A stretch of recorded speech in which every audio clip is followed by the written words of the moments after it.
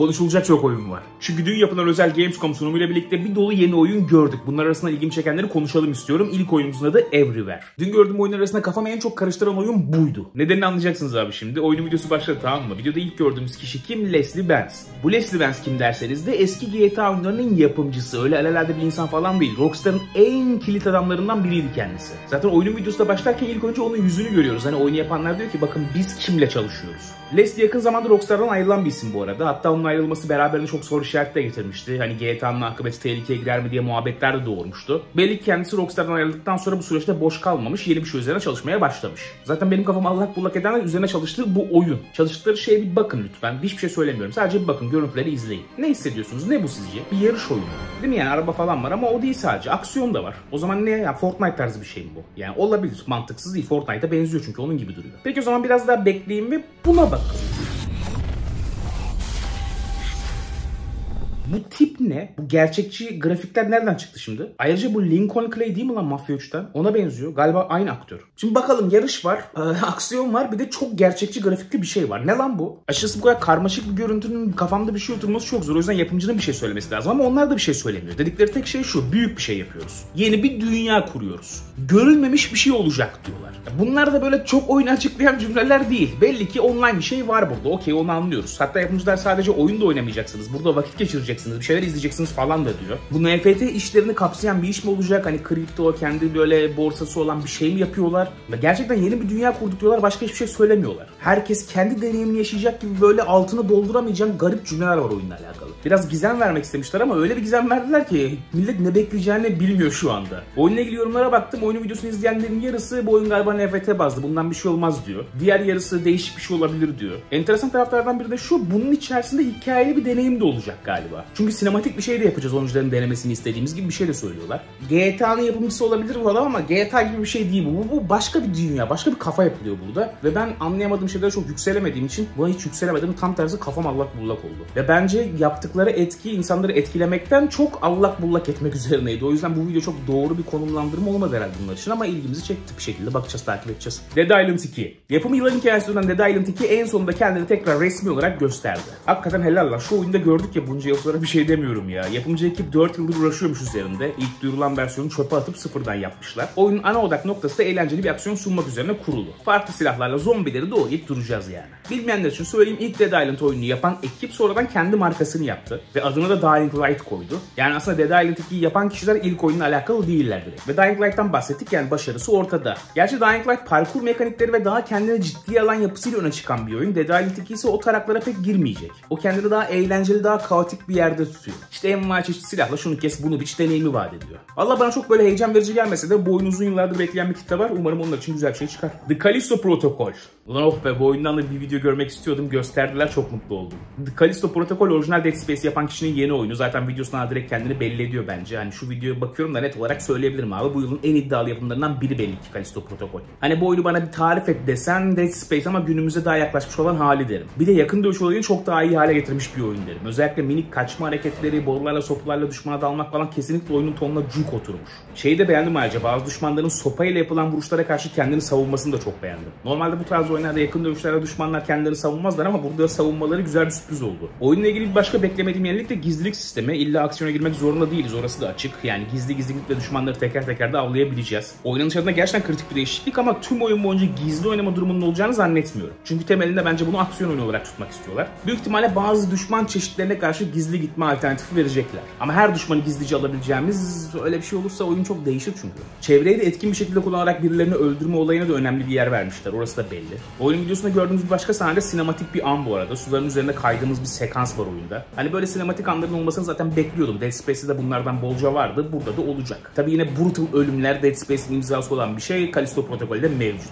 Çok uzun uzun bir şey göstermediler ama ufak sekanslar bile kaliteli bir şey geldiğini buram buram hissettiriyor. Oyun yapımcısı bu arada Dead Space çok andırdı ama oyunu bitirdiğinizde Dead Space'ten farklı bir şey oynadığınızı hissedeceğinizi de söylüyor. Onu da belirtmiş olayım yani. Outlast Trials. Duyurulduğundan beri pek bir şey göstermediler bu oyunla alakalı. Açıkçası bu durum biraz benim şüphe şüphelerimi arttırıyor oyuna karşı. Çünkü yine bence çok bir şey göstermediler yani. Hızlı editlenmiş bir video izledik. Böyle oyunun sahnelerinden oluşan tak tak tak diye geçen bir kolaj videosu gibiydi. Yani biraz akan bir oynanış görmek lazım değil mi artık ya? Kaç zaman oldu bu oyun durulalı? Biliyorsunuz oyun bu kez online yapıda olacak. 4 kişiye kadar birlikte oynayabileceğiniz bir yapı var burada. E, videolarından anladığım kadarıyla da önceki Outlast oyunlarına nazaran daha bir oyun olacak yani. Kaçmaktan ziyade farklı şekillerde mücadele edebileceğiniz bir iş var. Ama online yapı ne kadar işleri değiştirecek bilmiyorum. Ben önceki Outlast'lara çok benzer olacağını zannetmiyorum. Kapalı beta yapacaklar oyun için bu arada. Bu yıl Ekim sonu Kasım başı gibi kapalı beta ile birlikte biraz daha oyunun tarzını anlarız herhalde. Bu arada bu oyunun videosuna bakarken çok garip bir yorum silsilesi gördüm okurken. Paylaşmak istiyorum sizle bunu. Bir kullanıcı yapımcılara doğrudan demiş ki Size bu açı oyunda sil olarak görmek istemediğimi söylemiştim. Böyle cringe dini sembolleri falan garip şeyleri oyuna getirmeyin. Bunlar gerçek dünyada yok. Oyun hala daha çok garip duruyor. Çok böyle hani komedik duruyor. Ama yanılıyor da olabilirim. Oyunu gerçekçi yapın anladın mı? Lanet olası şekilde gerçekçi. Belki de haç konusunda yanılıyorumdur. Belki de cool bir özellik olur diye insanlar için. Bu online bir oyun ve büyük ihtimalle arcade tarzı bir korku oyunu olacak. Ama ben yine de gazlıyım. Maalesef ben değilim. Demo çıktığında ne olacağını göreceğiz. Bu arada ben büyük hayranım. Yani bilin. Sen Türk müsün, Müslüman mısın?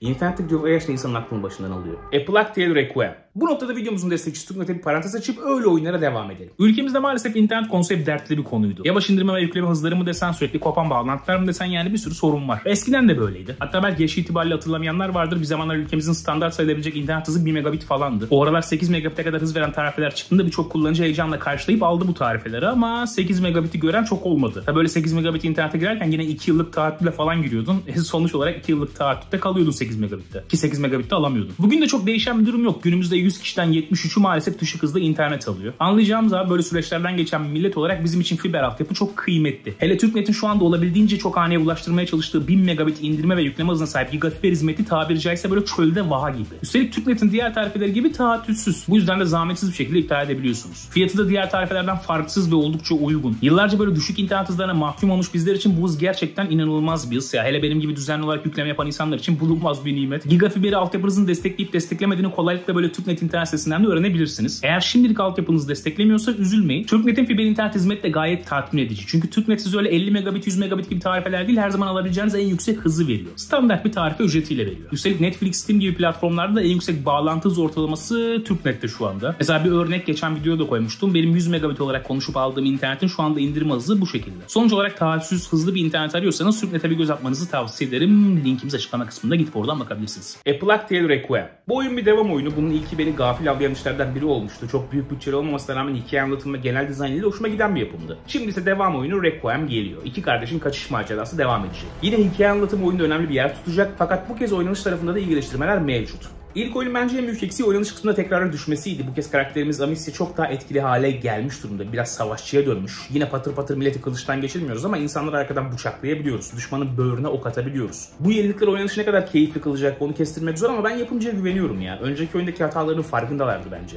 O yüzden umudum yüksek. Görsellik falan da etkileyici gerçekten. Alanlar da genişlemiş, güzel. Hani taktik yapmak açısından daha elverişli. Oyunla ilgili en büyük şüphem yapay zeka problemlerini çözebilecekler mi ondan çok emin değilim. Çünkü günümüz oyunlarının yapay zekası maalesef biraz evlere şenlik. Bu oyunda da bu durum çözülmeyebilir yani. Şu videoya bakar mısın mesela bak adam yanıyor şu anda. Diğer herif adamın yandığını görüyor ama çok sakin kılıcını çekiyor. Olduğu yerde böyle bir bakıyor falan. Oğlum her gün önünde biri mi yanıyor lan? Gerçi orta çağ değil mi? Yanabilir evet her gün önünde biri. Çok mantıksız gelmedi. Neden yapay zekaya takıyorsun diyebilirsin. Gizlilik oyunlarında yapay zeka iyi olmayınca oyuna hafiften bir acı tat veriyor ya ondan. Hogwarts Legacy. Maalesef Şubat'a ertelenen bir oyun Hogwarts Legacy. Normalde bu yıl çıkacaktı fakat ertelediler. Ama bizi yeni bir videodan mahrum bırakmadılar. Bu gösterilen video bu kez biraz hikaye ağırlıklıydı. Harry Potter severler söylesin heyecanlanacak bir şey var mı? Ben gerçekten pek hakim değilim. O yüzden video beni heyecanlandırmadı yani. Ekstra heyecanlandırmadı diyeyim. Oyuna karşı heyecanım baki. Hatta bu videodaki bazı sahnelerin çok ham durması bir tık beni rahatsız bile etti. Şuradaki konuşma animasyonları 2010'lardan kalmış gibi. Büyük ihtimalle bunlar sinematik sahneler değiller. Oyun içi NPC konuşma animasyonları olsa gerek diye düşünüyorum bunlar. Ama böyle yakından gösterince çok komik geldi bana. Biraz sanki hatalı bir tercih olmuş gibi. Yoksa açık dünyalı bir dolu karakter barındıran bir oyunda herkesin mükemmel gerçekçi surat animasyonları olmasını beklemiyorum. Ama yani siz de gelip önümüze gözümüze sokmayaydınız iyiydi be. Şimdi yapımcının açıklamasında gördüm. Bu gördüğümüz video oyundaki bir yan görev serisine aitmiş. Opsiyonel. The Last Case of Benedict Fox. Bu oyun çok büyük bir yapım değil ama görsel havası, tarzı ve tonu çok hoşuma gitti. Ondan listeye aldım kendisini. Ekranda gördüğümüz üzere yani yandan bakışlı bir aksiyon oyunuyla karşı karşıyayız. Hafif kutulu ambiyansı var gibi de hissettim ama o kadar gergin bir oyun değil. Yine böyle şeytanlarla, demonik varlıklarla falan uğraşıyoruz. Aksiyon kısmı var, platform kısmı var, hikaye anlatımı var. Türü sevenler için göz alınacak bir oyun. Where Wines Meet. Dünkü yayının sürpriz oyunlarından biriydi bu. Çin tarafından gelen bir bir başka oyun dedim ya Çin tarafından gelen bir yükseliş var diye. O yükselişin bir örneğiyle karşı karşıyayız. Bu oyunda bir açık dünya aksiyon rol yapma oyunu aslında. Kendine özgü olayı ne derseniz de yakın dövüş sanatları üzerine gidiyor olması deriz. Deriz diyorum derim yani. Farklı yakın dövüş sanat stillerini uygulayabileceğimiz bir yapım olacak. Ne kadar kaliteli olur bilmiyorum final ürünü ama kesinlikle ilgi çekici durduğunu söyleyebilirim yani. Dune Awakening. Bir sürpriz daha. İlk gördüğümde bunun videosunu dedim ki oha lan Dune oyunu geliyor. Hani malum filmin çıkmasıyla beraber Dune tekrar böyle ana akımda yer bulur hale geldi. Oyunda da bunun ekmeğini yemeye çalışıyorlar falan ama hani açık dünyalı, aksiyonlu böyle hikayeli bir Dune oyunu ne bileyim değişik olur gibi düşündüm. Ama oyunun videosu bittiğinde şu yazıyı görünce dedim ki ha tamam benlik değilmiş bu. Yani hayatta kalmalı MMO bir oyun olacak. Hani MMO'dan kasıtları böyle World of Warcraft kadar geniş bir şey mi olacak? Böyle bir şey yapacaklarını zannetmiyorum. Çok yani o topa girmezler gibi. Hani biraz daha küçük çaplı bir şey yapıyorlardı. Adını MMO mu koydular ne bileyim Valheim gibi bir şey mi olacak? Sonuçta survival falan diyor. Ya velhasıl online bir şey geliyor işte. Meraklısı baksın. The Lords of the Fallen. Bu oyunun gelmesi de beni çok şaşırttı. Neden geldiğini bilmiyorum ben bu oyunun hakikaten ama geliyor yani. Lords of the Fallen aslında eski bir oyun. Souls benzeri oyunlar arasındaki ilk iştir kendisi. Ama açık konuşalım iyi bir iş değildir. Yani baktığında ortama ambiyans hoş gelebilir ama oynanış çok sıkıcıydı bu oyunda be. Tekrar yapımına dair minik söylentiler duymuştuk. Şimdi resmi bir kanıt da var elimizde. Bu arada bir devam oyunu da değil bir reboot olacakmış. Yani Lords of the Fallen'ın reboot olması kimin ne kadar umurunda onu da bilmiyorum. Yayınladıkları video cool'du da oynanışa dair bir şey göstermediler. O yüzden çok gazlı olmayı gerektirecek bir şey yok şu anda. Under the Waves. Quantic Dream yeni bir oyun yapıyor. Quantic Dream kim? Heavy Rain ve Detroit Become Human'ı yapan insanlar aslında. Normalde bu Quantic Dream'in sıradaki oyunu Star Wars olacak zannediyordum ben. Star Wars Eclipse isimli bir oyun duymuşlardı. Onun üzerine çalışıyorlardı. Fakat araya bir başka oyunlar sıkıştıracaklar demek ki. Baştan şunu belirteyim. Bence bu oyun böyle Detroit gibi yüksek bütçeli bir iş olmayacak. Elimde kesin bir bilgi yok tabi ama asıl paralarını Star Wars Eclipse'e sakladıklarını düşünüyorum. Bunu da biraz yan proje gibi konumlandırıyor olabilirler. Hani paslanmayalım bir şeyler daha çıkartmış olalım diye. Çünkü Star Wars Eclipse'in çıkmasa daha çok var diyorlar. Yine de Quantic Dream adı bence insana heyecanlandıran bir ad. O yüzden bunu da listeye almakta fayda var. Lies of P. Bloodborne tarzı Pinokyo ile birleşiyor ve ortaya bu çıkıyor. Evet Lies of P aslında Pinokyo'yu böyle Geppetto ustayı konu alan bir oyun. Ama bunu tabii çok daha kendine özgü yetişkin diliyle anlatacak. Nasıl bir oyun çıkacağını bilmiyorum ama Lies of P'nin ilgi çekici durduğu bariz. Bu yayınlanan videosu da beni bir tık üzdü. Şundan dolayı uzun bir oynanış sekansı göstermelerini bekliyordum. Gene çok kesti kesti gösterdiler. Fakat bu kesti kesti yayınlanan video bile beni etkilemeyi başardı. Özellikle oyunun sanat tasarımı çok umut vaat ediyor. Yani farklı mekanlar gösterdiler. Mekanların tasarımı, dizaynı, oyunu genel havası falan hakikaten özen gösterilmiş bir iş var burada belli. Oyunun verdiği bu pozitif havanın yanında bir güzel haber daha vereyim. O da oyunun ilk günden Game Pass'e gelecek olması. Biz Türk oyuncular için bu konu kritik bir konu. Lies of P ilk günden Game Pass eklenecek. Bu da ayrı sevindirici bir haber. Ama oyun ne kadar zor olacak, nasıl bir harita tasarımı barındıracak, nasıl kendine özgü sistemler koyacak falan bunlar hakkında çok bilgimiz yok. Sol kolumuza farklı şeyler takıp onu farklı silahlar haline getirebildiğimizi duymuştuk daha önce. Burada da onun örneklerini gördük. Merak ediyorum ben bunu. Hakikaten çıksın direkt ilk günden bakacağım. Return of the Monkey Island. Klasik macera oyunumuz Monkey Island geri dönüyor. Bunu zaten duyurmuşlardı. Bu kez çıkış tarihinde duyurdular. 19 Eylül tarihinde çıkacak. Yani şunun şurasında bir aydan az zaman kalmış. Bekliyoruz efendim. Moonbreaker. Bu oyun dün gördüğüm oyunlar arasındaki en enteresan işlerden biriydi. Şimdi bu oyunu yapan kişiler Subnautica'yı yapan kişiler. Subnautica biliyorsunuz viral oldu. Tüm dünya tarafından bilinen bir marka haline geldi. Fakat Subnautica'yı yapan kişiler aynı tarzdan devam etmek istemedikleri için farklı tarzda bir oyun yapmaya gitmişler. Bu cepte. Bir de şöyle enteresan bilgi var. Brandon Sanders ile kol kola çalışılıyor bu oyunda. Brandon Sanders dediğiniz insan abi modern zamanların en önemli fantastik roman yazarlarından biri. Direkt böyle hayvan gibi bir isim yani bu. Onun ismiyle birlikte yola çıkıyor olmaları çok ciddi bir arka planı olduğunu falan gösteriyor. Ama gel gelelim oyunun videosu sanki Brandon Sanders'ın işi değil de çok böyle geyik bir şeymiş gibi hissettiriyor bir yandan da. Oyun aslında temelinde dijital figürlerle savaştığımız bir oyun. Bayağı dijital figürlerle sıra tabanlı bir şekilde bir savaşıyoruz. Bu karakterlerin figür olmasının esprisi de şu kendimize göre kostümize edip boyayabiliyoruz bunları. Nasıl yapmak istiyorsan öyle yapıyorsun figürünü. Ve her bir figür oynanışı farklı bir noktaya getiriyor. Atıyorum siz böyle 100 tane figür arasından 10 kişilik bir figür ekibi kuruyorsunuz ve bu ekiple çok değişik savaşlara gidiyorsunuz. Hepsinin farklı bir karakteri falan var. Yani yapımcıların iddialı olduğu nokta oynanışının çok çeşitli olacağını garantisini vermeleri. Yani ilginç bir kombinasyon böyle insanın kafasına tam oturmuyor ama arkasındaki isimler kuvvetli o yüzden dikkate değer bir oyun olduğunu düşünüyorum. Atlas Fallen. Souls benzeri oyunlar denilince akla gelen en başarılı işlerden biri de The Surge. İşte birazdan ekranda göreceğiniz oyunda The Surge'un yapımcılarından geliyor. Açıkçası bu oyunla alakalı çok uzun bir şey göstermediler ama ufak tefek oynanış sekanslarıyla fikir sahibi olabildik. Tahminim online deneyim üzerine gidecek bir oyun olacak gibi. Hani ekranda gördüğümüz iki kişi var. Bu iki kişi yaratıklarla savaşıyor. Tema olarak Surge'de hiç alakası olmayan bir iş. Modern dünya yerine böyle fantastik bir dünyada yaratık avlayacağız. Orası belli. Gösterilen minik oynanış videolarından da tempo olarak çok daha süratli bir oyuna karşı karşıya kalacağımızı tahmin edebiliyoruz yani. Bekliyoruz. Gotham Knights. Şu oyuna karşı heyecanın bu kadar bitik olması o kadar enteresan ki yani oyunun teması ilgi çekici, süper kahramanlar var ama kimse merak etmiyor sanki Gotham Knights'ı. Dünkü sunumda bile seyirciye şey sordular böyle Gotham Knights için heyecanlı mıyız falan verilen cevap hey o da ayıp olmasın diyeydi. You guys excited for Gotham Knights? Neyse oyundan yeni video var. Çıkış tarihi ve düşmanlar hakkında bilgimiz var. Yakında çıkacak oynayacağız işte. Hani bu sefer yenilikleri video fena bir video değildi ama oynanış olarak hala daha çok şüpheli bir oyun gibi duruyor Gotham Knights. Daha önce gördüğümüz şeyler o kadar jenerik açık dünya oyun havası veriyordu ki bu oyuna karşı heyecanlanmak hala daha bana zor geliyor. Phantom Hellcat. Sadece 30 saniye gördüm ama gördüğüm şeyi sevdim. O yüzden de listeme aldım. Eski tarz böyle kesmiş aksiyon sunan oyunlara bir özlemim var. Bu oyunda kendine ait bir hava barındırıyor. Sizin de bu tarz şeylere özleminiz varsa bunlara bir bakın. Oyunlar bitti. Bir sürü oyun gösterildi ama benim bahsetmek istediğim oyunlar bunlardı ve şu an çok sıcak bir odada duruyorum. O yüzden kaçıyorum ben çünkü terledim. Görüşürüz kendinize iyi bakın. Bay bay.